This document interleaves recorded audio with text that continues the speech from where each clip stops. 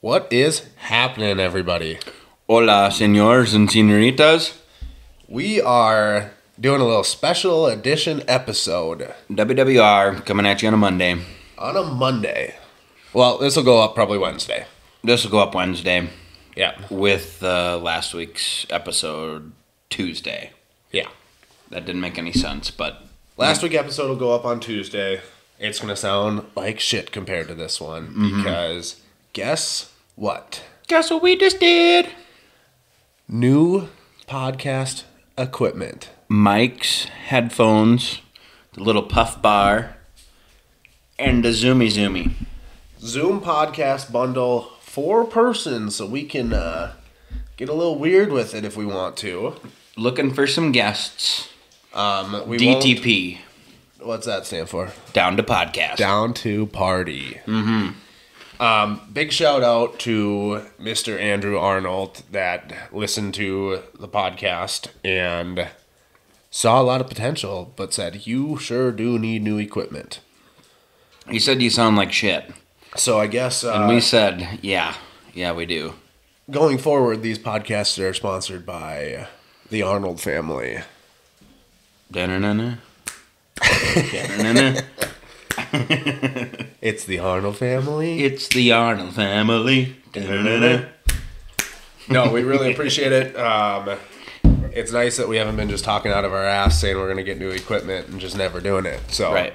we finally got it. Uh, we did a little test run, and I think it's going to work. I think so too. It sounds immaculate. We're gonna play with it. Um, we haven't put it into our editing software or nothing yet, but I'm I just can't help but think it's gonna be great. Yeah, it's a little different. Um, it actually runs off of a memory card as opposed to plugging direct, um, and that way it will actually record individual lines of audio so that we can control and edit the volume on each independent microphone. That's where we kept running into issues um, with just sound differences. Is like my mic was ran on just a basic two channel, where yours was on one channel, and for whatever reason, that one channel was picking you up so much. Yeah, Not- but then it would flip flop every once in a while. Yeah, so- it was just funky. not to get super technical on it, but yeah, no, this is going to be great. I think you guys are going to enjoy listening to us a lot more.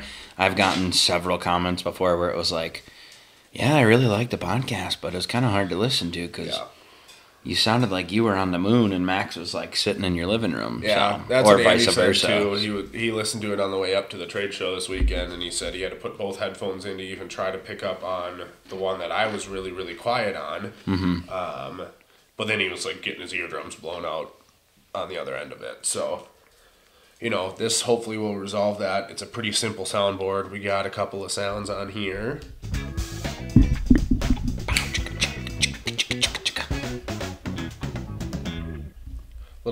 Little applause. Cracking jokes. Cracking jokes. Yeah, there's We never do that on this podcast. no, no. I bet you Ever. guys never ever laugh. It's very dry. Um, so pretty simple. Uh, record, play, pause, independent dials for your headphones and your microphones, mute buttons. Bet you can't hear Tyler now, can you? Where'd I go? There I am. There he is. So simplified, dumbed everything down, but got one synonymous system, and uh, you can actually plug in uh, Zoom calls off of it, and it'll actually record that as its own independent audio too. So when we have to Zoom, Zoom calls, phone calls, um, both of those. yeah. yeah. You can actually plug in and actually get audio from computers, phones, pretty much the whole nine yards as its own independent audio source, which we have controls over too. So, pretty sick. No, I'm excited now. Um, more excited than I even have been, which was pretty excited, but just just doing it right finally. Yeah. Um, Yeah. Damn, it feels right. Yeah, and hopefully it's easy to edit.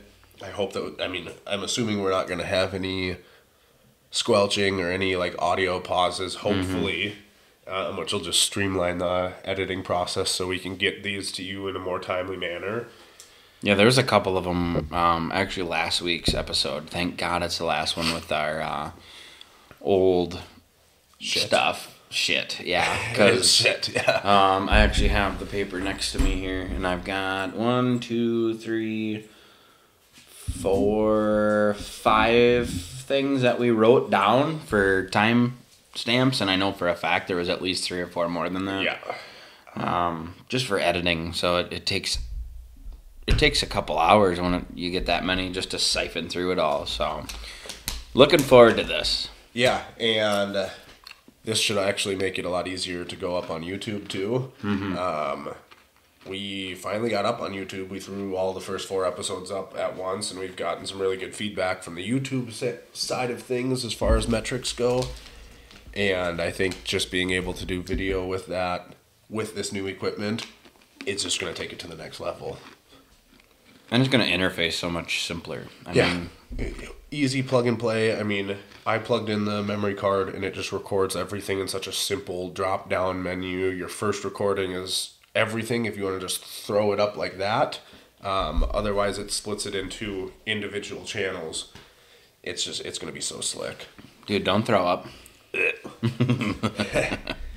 All right, so it's Monday. Like I said, well, this will go up on Wednesday. But how was the weekend, big dog? Uh, not not too shabby. What'd you do? Um, I think literally the only thing I did do was, uh, as you know, Tobin. Yep. He uh, he swung by and uh, he brought over brownie mix and some ice cream, and so we uh, we drank a bunch of Busch Lights and um, threw some hot brownie on some ice cream. Shapers. little date night. Oh God! And we sat on the couch until about midnight watching, I believe, mostly just Modern Family. Oh, good. Yeah, so you know, real good St. Patty's Day in um, Love it.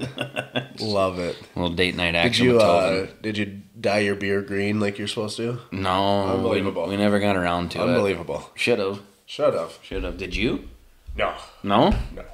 You were kind of tied up this weekend, huh? I was, yeah. We were up in Minneapolis. Okay, what were you doing up there? There was uh, the Midwest Sports Show up there, uh, Thursday through Sunday. This is the 90th year that they'd done it, and uh, we went up for camp, and we're doing a doing a little marketing and advertising. So it was a cool show. Um, kind of quieter than I would have expected, to be quite honest. I don't know. There was a lot of stuff going on. It was Big Ten tournament. Um, there was some big dance recital. Um, we actually got to. A lot of the basketball players were actually staying in the same hotel that we were, so we got to see some of the Purdue team and some of the other like big, Big Ten teams. Did you give them high fives? I didn't. No. Ask for autographs. no, there were a couple of them. Pretty much all the ones we ran into didn't have a very good game. It didn't sound like so they were kind of moping around, kind of depressed. Too So, bad, too yeah, bad. Too bad. Can't win them all. You know, somebody's got to win. It ain't always going to be you. That's true. That's true. I've learned that through Yeah. life. Yeah. Um, and I think part of the mix too, um, Minneapolis, obviously, with everything that's gone over on over the last few years, I don't know if it's drawn the same crowd that it once would have. Yeah, I, it's not really surprising. Um, God, what was the last event I was up there for? The ice fishing show. Up Oh there. yeah, Went up there this year too, and even compared to last year, it was it seemed down. I don't know. I don't know the numbers, but right. we also went on Sunday later. Sure. But Yeah, and I mean, we uh, like I said, we started on Thursday at like noon. So I mean, it was a weekday, you know. So stuff didn't really pick up until people were getting off work on Friday. You know, Saturday was a big day. Sunday was kind of quiet, but it was cool. But yeah, it it just I feel like it kind of sketches people out maybe a little bit. I mean, it was almost nonstop sirens. I got woke up like six or seven times every night with sirens going off, and eh, and you, you know who who knows what it was, but at the same time, it just it seemed like a lot of a lot of traffic for for what's going on. yeah, it it probably didn't help either that it was St. Patrick's Day weekend up there. Like, it's kind of rowdy in any big city. Yeah, I mean, shit.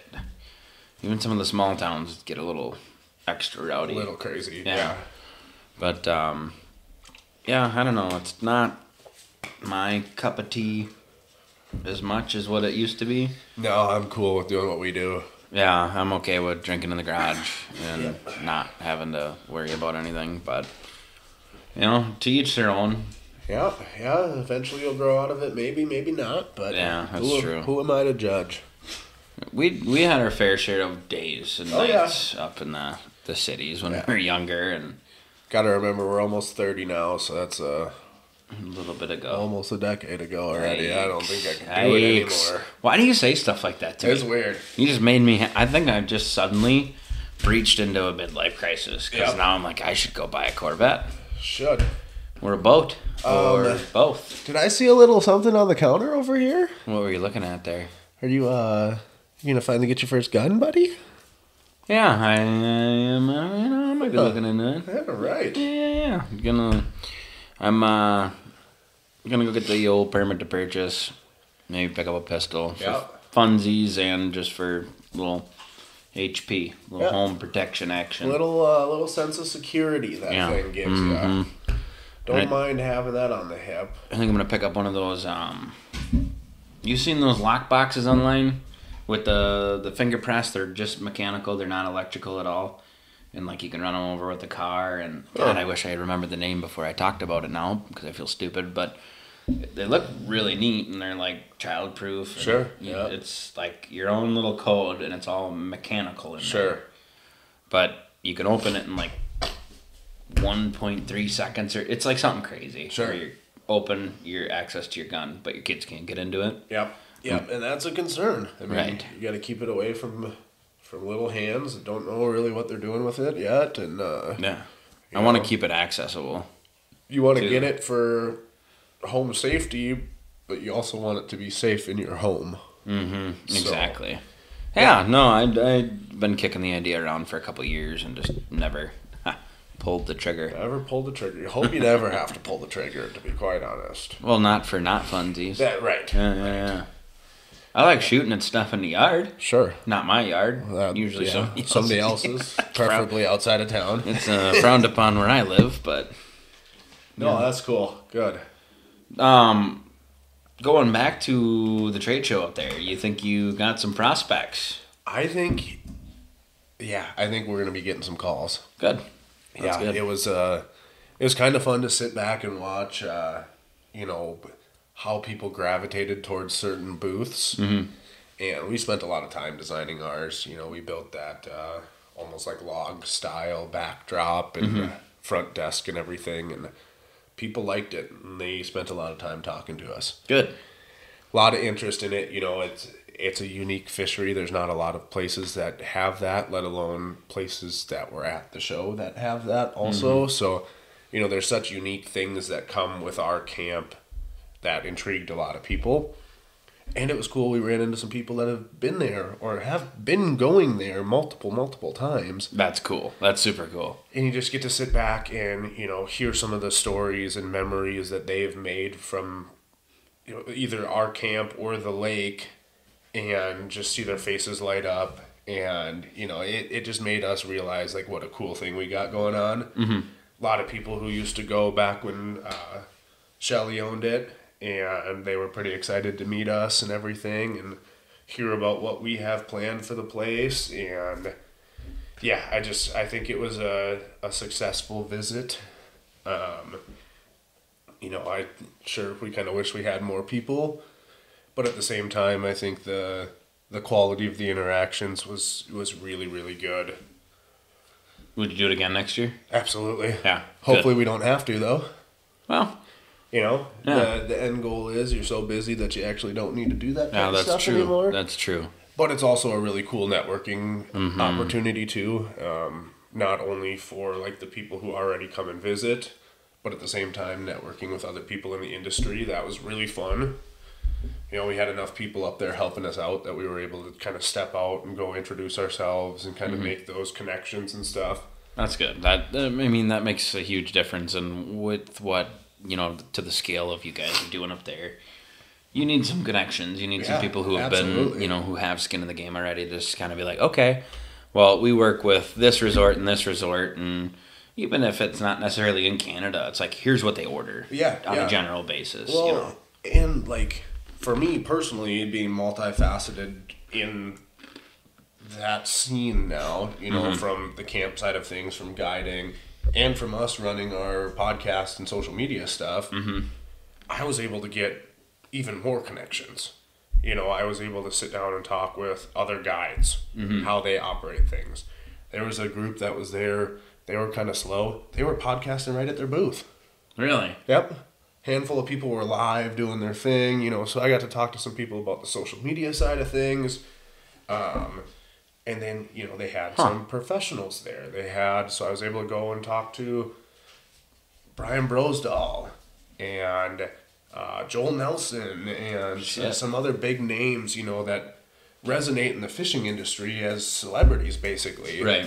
And boy, I had to talk myself up to even be able to walk up to them. Yeah, you're like, uh, what do I say? Hi, Max. I like fishing. I'm a, I'm a huge fan. I like fishing, and fishing is fun. Can you sign my hat, please? no, but like it, it was really cool too. Um, and not quite on a celebrity level, but if you guys are familiar with Thorne Brothers, um, they're a huge retailer up in the cities. And I got to meet the gentleman who owned it, Kurt, and we got talking. We bought quite a bit of stuff from him, so that kind of helps, you know, initiate the conversation. But they have a pretty big YouTube channel, and the guy that handles all of that, Tucker, I got his contact information, and I think he's going to come up to camp. Whoop whoop. That's sweet. Yeah. That is legit. and you know hopefully films and hopefully we can get him on the podcast but mm-hmm. Kurt was awesome. He spoke so highly of the lake. He was very familiar with st joe's. He's never fished it but he was very familiar so he was able to kind of talk it up too. And you know it was it was just cool. And we talked about wholesale opportunities and marketing opp- you know like it was just a neat neat opportunity. No, that's legit, man. Um, just that alone almost makes the whole weekend worth it. You know, you get a contact like that who, like I said, skin in the game for a long time and knows kind of what's going on. That's that's awesome to have in your pocket. Just be like, okay, he's coming up. We're gonna do a podcast. He's gonna help us out with this, this, and this, yeah and hopefully he, you know, does some content up there too. Yeah, and I, I can't help but think that that's going to take it a whole step further, you know, with other people seeing it, just using other platforms and channels to actually expose camp and like what I'm doing as a guide too, to kind of push it above and beyond. No, it's it's big things, it's fun things, and I'm I'm not as much on the Canada side of things. Um, I'm still gonna stick with the podcast side of things, but I am so freaking excited for just even that. Yeah. I mean, for you guys especially, it's it's so exciting. Like I can't say it enough. It just is. It's without words. It lit a whole new fire up there actually being involved with the people and having more communication with people like i said who are familiar or who are excited. You know there were people that were like okay yeah we're gonna book. Mm-hmm. Do you guys offer a guide? And i'm like Me. that's me. Like I am the guide. i'm the guide. And people were just so excited to just be able to sit down and talk with me about what the lake's like and mm-hmm. how to catch them up there and you know the lay of the land and all of this stuff it was just it was really really cool Yeah, and you just said and can like just continue said you just gotta grip, rip, and grab them lips, huh? yep Gripping and ripping. grip rip and lip Grip, lip, and rip.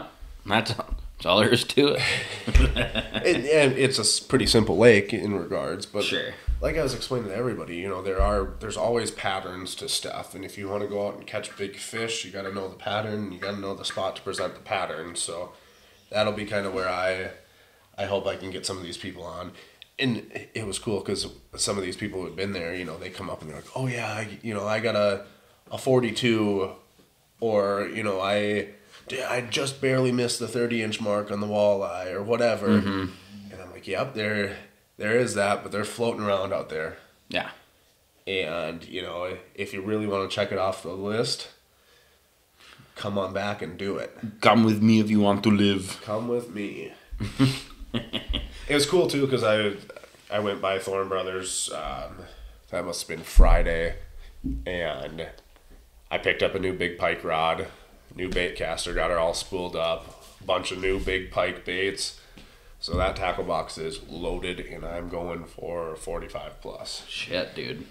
that's that's the that's the the goal up there is there's going to be some 30s caught and I want to crack 45 on a putt. Hell yeah, man! And you got a goal. You're set on it. You're gonna get it. Yep. So it was nice to be able to sit down and talk with them too on like, you know, really fine tuning the big fish side of things. Like obviously I I know how to do all this stuff, but just having, you know, the the reassurance of like, yeah, these are this is how you're attacking it. You got it right. Mm-hmm. You got it figured out. You just got to go put it in front of their face now. Right. So, Get them out there. Get them on some fish, and just show them like this is a legit spot to be, and you're gonna love it. And yeah. again, still not called catching. Nope. It's fishing for a You're reason. gonna fish for it, but god damn it, um, that's where too just being a good guide is gonna, and I know you're gonna be because even if you're not catching, you're just gonna keep it lively and still make it a good time. Yeah. Like, and I mean, if you have to, you know, maybe maybe tie like a dummy rod on it. You know, if you really didn't catch nothing, you just like, just trick them. well, you pull up like a like a fake fish. you're like, oh, I was driving a little robot fish with an RC. you're like, fish. oh look, you got You one. got one. Oh no! It, Put like a little clown nose on it. It's like good for the yucks. psych. Gotcha. no, it's it's gonna be cool. We got some other cool connections up there too. Uh, we just applied to be a St. Croix uh, wholesaler. Mm, nice. Um, That's awesome. We actually immediately when we got up there, I went down and I picked up a, a St. Croix uh, Eyecon rod, a jig and rig rod, and a reel, and we raffled it off. Oh shit, nice. So that was kind of cool. You know, we were able to have some good conversations, and people threw their hat in the ring, and we were able to give one of those away at the end of the end of the show, which was pretty sweet. That is awesome. That's So hopefully that'll be uh like I said, I just sent it off today, but hopefully we'll have the opportunity to be able to put those up in the shop at camp and uh, you know put some good quality rods in people's hands. oh my god. Uh, we'll see how good these microphones are, but Yeah. Um, if you hear all that extra noise in the background, it's my dog who I uh, before we started forgot to put back in the house because she does this. So uh, just being a apologies. psycho. Yeah, she's uh, cold, so either on my lap or she tries the lawn chair for a while and then she forgets and hates that. So sorry about that. Oh, sweet! I actually I just pulled up the email. Um, looks like we are on the books. I got the dealer program in uh, terms of agreement in the catalog. And that's for who? St. Croix. St. Croix. Okay. Um, and they do actually make. Uh, I don't know how to say this, but they make reels now. They're either Seven or Savine. For real? I I N. Are you for real? I did see them up there, and they are very very nice reels. Very real. For real. Very real reels. Not even kidding. I'm for real. I'm for real. So that'll be sweet. Um, I think we're gonna kind of do a combination of wholesaling them up at the camp, and maybe we'll have a little shop page on the website. Oh, So that's cool. That's awesome. If That's exciting. guys- if you guys need any rods or reels, I would encourage you to check us out. Um, Give us a jingle. maybe we'll get a little promo code for the podcast or something that we can run. Ooh, I like the sound sweet. of that. So, like I said, Sponsorship?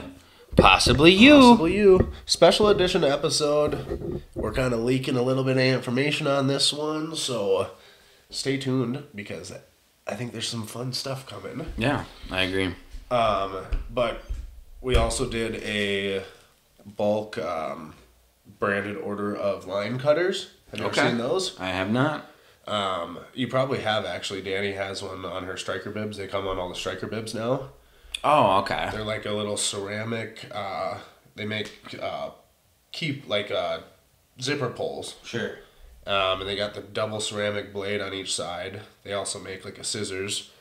Um, maybe I have seen it. I, think you have. You just now. didn't know because they're branded for Striker on all of the bibs. Sure.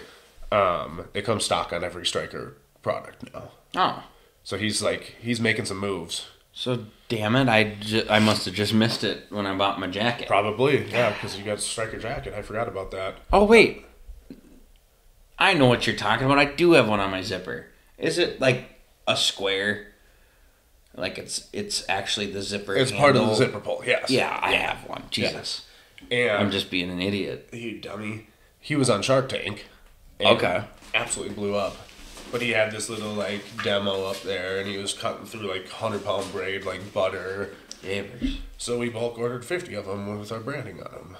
That's So- awesome. Oh, so they're gonna pre-brand them even. Uh huh. They're gonna print them That's for us cool. and everything. So That's cool. They actually now make one that has like a Velcro ring, Okay. so you can either wear it like a ring, Mm-hmm. or his demo was he had it on the back of his underside of his reel, Oh, sure. so that it's always attached to your rod.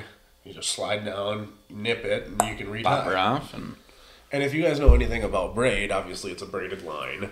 It doesn't cut very good, no, it sucks. especially once you start getting up into the heavier poundage. Yeah, A lot of times it frays, and a lot of times you have a hard time getting it back through the eye of whatever you're tying on. Mm-hmm. This is clean. I'm talking, it almost looks like it was, you know, cut and burnt. like like factory Yeah. right out of the spool. Blew me away how clean it cut heavy braid. So we were pretty excited about that one as well. To be honest with you, I forget it's on my coat. Yeah. Like once you said that, I'm like, God, I don't know if I've seen that. And then now that you said it was part of the zipper, I'm like, Oh, yeah. yeah. I bought the coat. I seen it was there, and I'm like, that's gonna be really useful. And then I just forget. But there's nothing worse than digging around for your clippers or No, and I do all the time. And I'm like, okay, now that I'm thinking about it, I'm like, that's stupid. I could have saved so much time Yeah. by just nipping it off. And the the worst coat. thing too, like a lot of people use fingernail clippers. Mm-hmm. You ever try cutting braid with fingernail clippers? then it's impossible. Horrible. Yeah, it's terrible. Horrible. You're better off like sawing it with a hacksaw. Just get the frickin' sawzall out. there we go. There's just nothing worse than digging around for that shit when you don't have to be. Yeah, if it's just on your person, you're good to go. Yeah. Do it. But yeah, it, it was such a cool show. You know, it it was some um, rod reel tackle vendors. There was a lot of camps and resorts from all over the place. I mean, we're talking way way up in Canada, Alaska to just next door to Lake of the Woods to all the way out to like Wyoming and Oh Washington. wow. Like, Okay, that's pretty cool. there was a lot of stuff, you know, and it was a mix of fishing and some of it was hunting, and uh, Is that fishing with the FI or fishing with the PH? with an F. um, and then they had a bunch of boat dealers. They had uh, a bunch of ATVs, side by sides, golf carts. Um, Berkley actually had a big tank Oh, okay. with fish in it. Sure. And they were doing like live uh, Like demos. Fishing, fishing demos. Yeah. Like they were catching fish. Well, they would clip their hooks. Sure. But they would, you know, d- Jig on them. Yeah. Kind of. And it was a long enough tank to where like they were throwing out their new Krej crank or their Krej jerk bait, Sure. showing you how the new lip design brings it up and then it kind of flutters backwards. Oh, that's cool. They had a couple pan fishing seminars, and, like That's a power move right there. That is like a such you- a flex. like you want to see it. Here it is. Which I give so much more respect and would be way more likely to buy from that brand just for that reason alone. Oh, 100%. I bet they sold so much product after that. If I can literally sit and watch you do it Yep.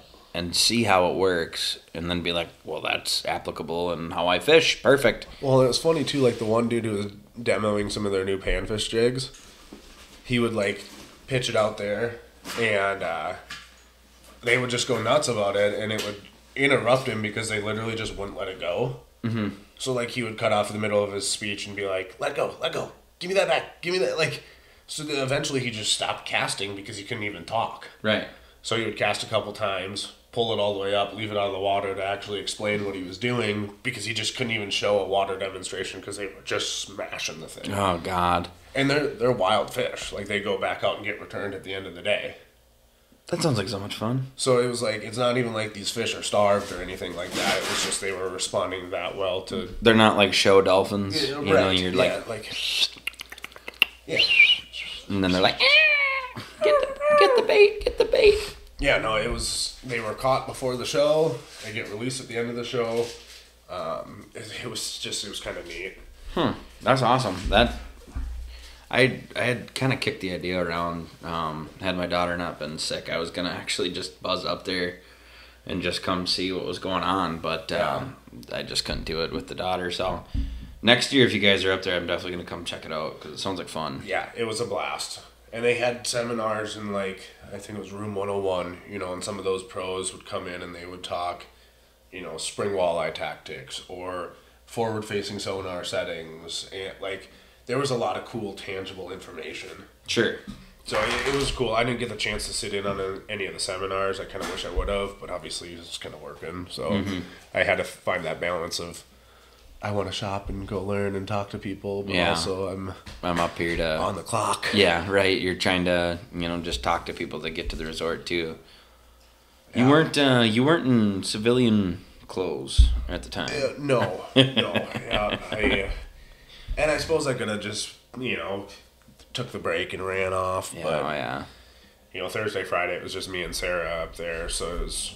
Well, and you want to be a part of it anyways. Well, I yeah, mean, you're a big gonna- proponent of it. and- If I'm gonna be up there doing what I'm gonna be doing, I want people to know that I exist and that I'm up there doing what I'm doing. Hundred So, percent, right? yeah, it was a it was a good marketing marketing thing. So Okay, I think that's a pretty good uh, little teaser for Yeah. the week. Yeah, I Um, know. Uh, we just wanted to do a little short one, test out the mics. Uh, Yeah, this is- about what the weekend entailed, and If um, if you catch this one before our next Wednesday episode launches, this would be a good time for some feedback because um, we're testing brand new everything Yep. again. But this time, I think we got it right.